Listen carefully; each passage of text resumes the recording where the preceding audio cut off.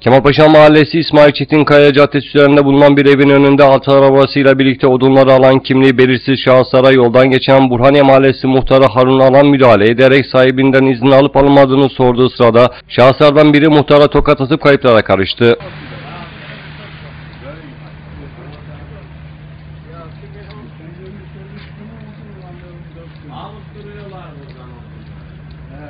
Alınan bilgilere göre olay Kemalpaşa Mahallesi İsmail Çetinkaya Caddesi üzerinde bulunan bir evin önünde meydana geldi.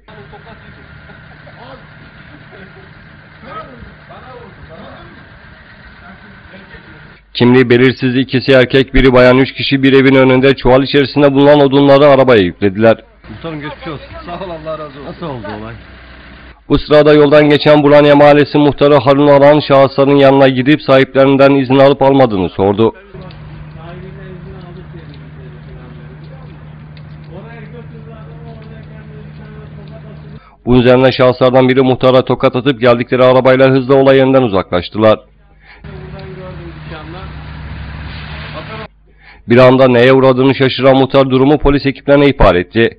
Gelen ekipler çevrede bulunan sokaklarda artı arabalı şahısları aradı ancak izine rastlayamadı. Mu-. Muhtar Alan olayla ilgili şunları söyledi. Ya buradan işte ben sabah yürürken baktım arabaya odun koyuyorlar. Herhalde dedim evin sahibidir. Baktım romanlar. Niye aldınız falan dedi. Dedi sahibinden müsaade istedik. Gel gel dedi.